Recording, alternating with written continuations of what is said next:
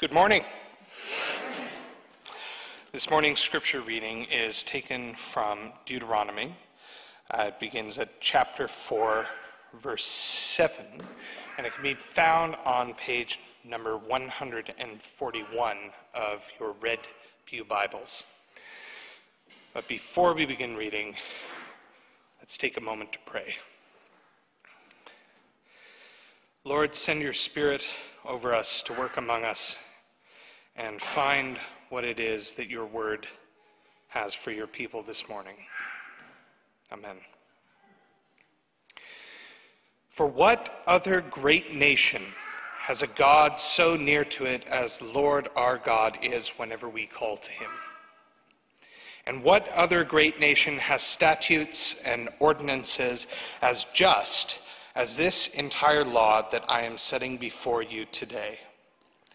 But take care and watch yourselves closely, so as neither to forget the things that your eyes have seen, nor to let them slip from your mind all the days of your life. Make them known to your children and your children's children, how you once stood before the Lord your God at Horeb, when the Lord said to me, Assemble the people for me, and I will let them hear my words, so that they may learn to fear me as long as they live on the earth, and may teach their children so. You approached and stood at the foot of the mountain while the mountain was blazing up to the very heavens, shrouded in dark clouds. Then the Lord spoke to you out of the fire. You heard the sound of words but saw no form, and there was only a voice. He declared to you his covenant, which he charged you to observe. That is the Ten Commandments. And he wrote them on two stone tablets. And the Lord charged me at that time to teach you statutes and ordinances for you to observe in the land that you are now about to cross into and occupy.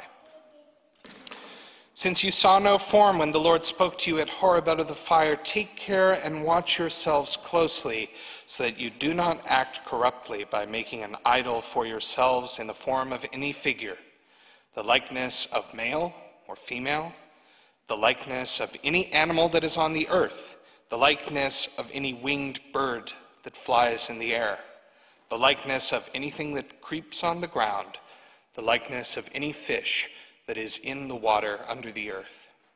And when you look up to the heavens and see the sun, the moon, and the stars, all the host of heaven, do not be led astray and bow down to them and serve them, things that the Lord your God has allotted to all the peoples everywhere under heaven.